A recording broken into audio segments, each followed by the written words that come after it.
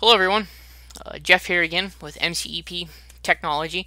Um, I want to go through today the uh, Keyence IX Navigator software with the Keyence IX um, series vision sensor, laser measurement vision sensor if you will. Um, and we're going to talk about um, if the target's moving or if we want to use line mode for our application. And we're going to go through how to set that up. So obviously the same way you would for the scan mode, you're going to go through sensor setup and again, this is the same process you would use in the IV Navigator 2 for the IV2 series sensor. Excuse me. You're going to go through and obviously do your brightness adjustment. So once again, I'm going to hold my sensor up here. And I'm going to go ahead and have it redo an automatic brightness adjustment because I can see that it's probably going to need to do that. Um, you'll notice my laser's moving a little bit over here, but that's because my hand's kind of tired of holding this, if you will. Otherwise, that laser is dead straight. It's it's not moving, it's not changing, it is in the same spot. Because that is the only measurement, that is the line measurement, if you will, that it's going to read from. You have the opportunity again to change maybe your sampling period from 6 milliseconds to 11 milliseconds, whatever you can do. Um, you have the opportunity again. Um, you kind of give up sensitivity for time. It's kind of your choice, but you have that opportunity to do that. Anyway, um, you can also change the laser's position. So if you want to move it back a little, if you want to move it forward a little, just kind of depends on your position where you need the laser to be. It's kind of handy. It's like, oh, I mounted my my laser, and ooh, I might need to move that back just a couple of little millimeters off my, my target, if you will, for where it stops or something along the lines. You have the ability to do that, which is kind of a handy little tool, if you will. You're going to go to the next step, which is very similar to what we've talked about before, and you're going to register a master image so it kind of has something to work from. Um, in this case, I'm going to go ahead and say that's my master, set that as the master image. Um, okay. Go ahead and go to the next step.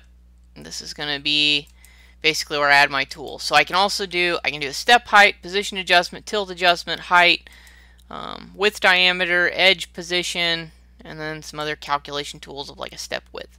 I'm going to go ahead and just talk about um, maybe like step height, but I kind of wanted to stick with a height because we're just going to measure the height of the tabletop surface here from where the sensor head is. So in this case, we just go with that and say, hey, yeah, where are we at? Are we good? And so, okay, yep.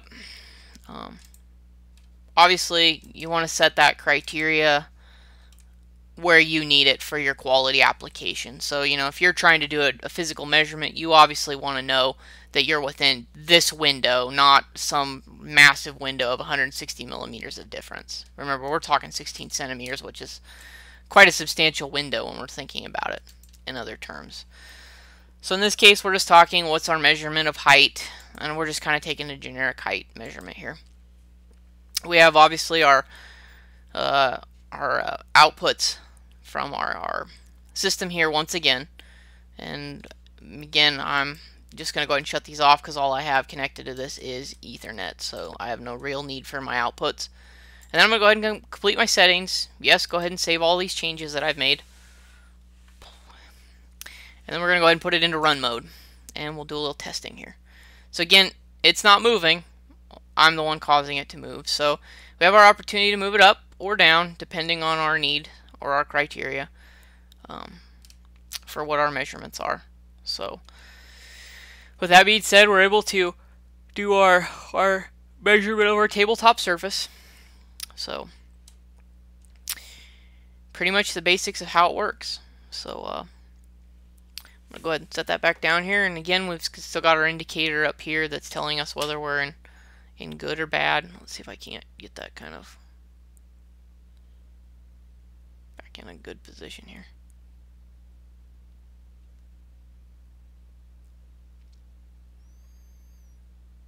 Well, anyway, you get the general idea that we're we're after that that color change for good or bad quality. Um, basically, good, no good image. So, anyway, that's basically the general gist of how to set up the IX series um, laser image sensor with the IX Navigator software.